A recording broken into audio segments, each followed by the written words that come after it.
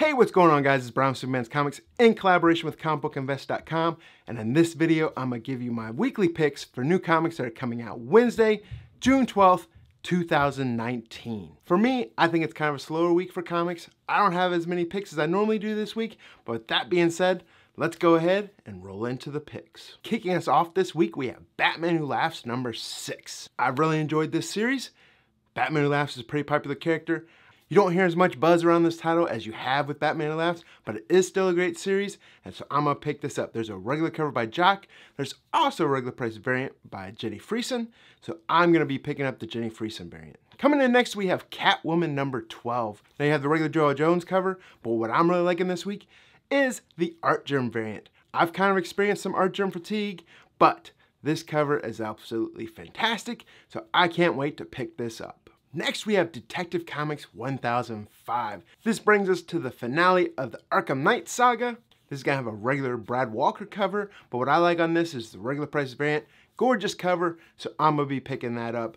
And I'm looking forward to completing the Arkham Knight arc. Next, we have the big DC event with Event Leviathan number one. This is written by Brian Michael Bendis, interior art by Alex Maleev, blockbuster team. Looking forward to picking this up. This is gonna have a regular cover, and it's got a regular price variant. Next up for DC, we have Flash number 72. This contains the Flash Year 1 story arc. It's to have a regular Howard Porter cover, as well as a regular price variant by Derrick Chew. I like the Chew variant on this. A lot of people are hit or miss on his art, but I'm one that likes it, so I'm to be picking up that variant. Wrapping up DC and rolling into Dynamite Publishing, there's only one book that I'm looking at this week, and that is Red Sonja, Birth of She-Devil number one. I've seen Dynamite has a lot of covers. I've seen a lot of store exclusives. There's only one cover that I'm looking at picking up this week, and that is the Incentive Virgin Lucio Parrillo variant. Looking at previews, it doesn't even look like it's exactly a ratio variant. I can't verify this, but from reading previews, it said that they were only gonna print a certain amount more than what was ordered for that variant. So I haven't heard a lot of people talking about it. I've seen a few listed on eBay, but I like that Virgin variant. That's the one I'm gonna be picking up.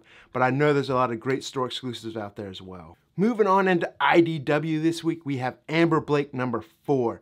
Seems like Amber Blake, the buzz has started to die down a little bit, but I still love this story, and I still love those Catherine No Debt variants. Moving into Image Comics this week, we have Ride Burning Desire number one. This is celebrating the 15th anniversary of Ride. It's gonna be a five-part miniseries, plus it also has a backup feature from Adam Hughes. This is gonna have two different covers for it. There's a regular Adam Hughes cover.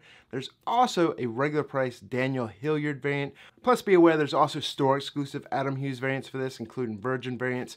So be on the lookout for those as well. Next up, we have Sonata number one. This is a new series from Image Comics. It's going to be about two different cultures that crash on a planet that they both believe is the promised land. One culture's peace loving, one culture's war driving, and they're going to clash to see who can seek and take control. This is to have a regular cover for it as well as a regular priced variant. Moving on over into Marvel this week.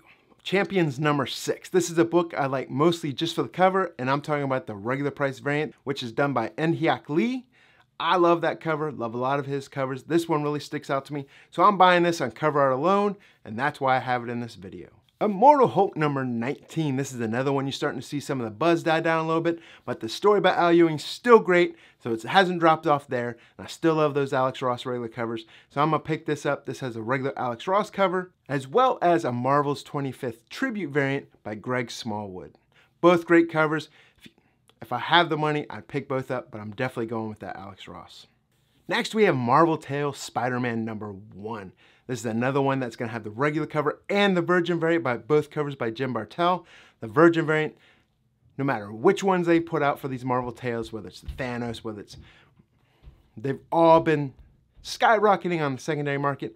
I'm anxious to see when they start dropping down, but so far they've shown no sign of it. So I expect the Spider-Man Virgin variant by Jim Bartel to do really well. Also, some stores have already taken notice because they're already selling it well above ratio to begin with. So if you're doing it that way, that leaves little wriggle room as far as the margin of profit you have to sell in the secondary market. So please be aware of that as well. Next, we have the big release from Marvel. Everyone's well aware of it, and that is Silver Surfer Black. This has Donny Cates writing, Tradd Moore on art. It's gonna have eight different covers for it. You have a regular Tradd Moore cover. There's a regular price Ron Lim variant. there's a regular priced Blink variant, there's a regular price Comics Pro Adi Granov variant, there's an incentive Gerald Parel variant, an incentive 1 in 25 Nick Bradshaw variant, there's an incentive Mike Zeck Hidden Gem variant, and an incentive Nick Bradshaw Virgin variant. Out of all of them, I'm a Granov fan, so if I can get it, I'm gonna get the Comics Pro regular priced variant. Venom number 15, this is a War of the Realms tie-in. It's gonna have a regular cover. Because it is a tie-in story, I actually like the regular price variant on this, which is actually a Marvel's 25th tribute variant by Simone Bianchi. Now, if it was still part of the regular story, I would probably go with the regular cover because normally I don't like variant variant issues where the cover has nothing to do with the story. But since it's a tie-in, that's why I'm going with the variant on this one. Next up for this week, we have Trustfall number one. This comes from Aftershock Comics, and it's based on a girl that has special abilities that she can teleport things or people, but she can't teleport herself. She's in a criminal family. They're doing all these heists. She can teleport her family and all the stolen heists to a safe location, but she relies on her family after the fact to help get her to safety because she can't teleport herself, hence the title called Trustfall. There's a regular cover by Chris Visions. There's also an incentive variant by Claire Roe. So there it is, guys. Those are my picks for new comics that are coming out Wednesday, June 5th, 2019. As always, comment down below. Let me know what books you guys are picking up. And question of the day. Do you buy just comic books or do you collect other things as well? Do you collect toys? Do you buy statues? Do you collect trading cards? Or are you solely limited to collecting comic books? I kind of branch out all over the place, so I'm interested to see if other people do that as well, or if, hey, blinders, comics are my thing, and that's what I'm picking up. And this is Brian with Simpleman's Comics, and I'll see you guys next time.